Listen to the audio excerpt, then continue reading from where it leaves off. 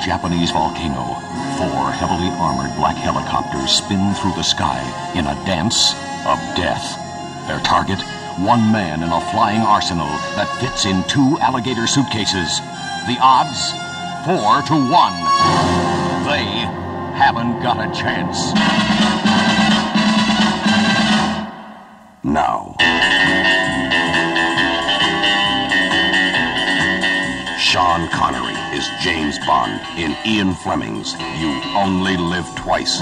Sean Connery, James Bond, 007. You Only Live Twice. An Albert R. Broccoli, Harry Saltzman presentation in Panavision Technicolor from United Artists, a Transamerica company.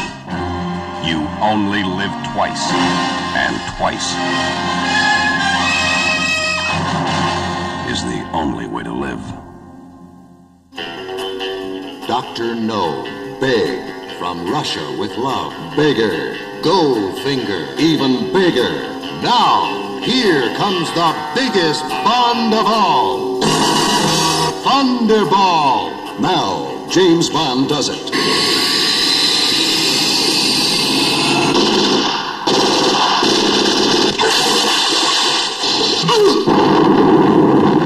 Everywhere. Look up, look down, look out! Here comes the biggest Bond of all. Albert R. Broccoli and Harry Saltzman present Sean Connery in Thunderball. Produced by Kevin McClory. Panavision, Technicolor, a United Artists release. Thunderball. It's a matter of life. It's a matter of death. It's a matter of a beautiful Italian spy, seven killers, a voodoo witch doctor, a living corpse, a gorgeous double agent, 12 cars, five planes, 10 acres of land, a wedding reception, a double-decker bus, a fleet of speedboats, a sea of crocodiles, the beautiful sorceress named Solitaire, the man with the steel arm, and a retired Navy LST. All against one man. My name's Bond. James Bond.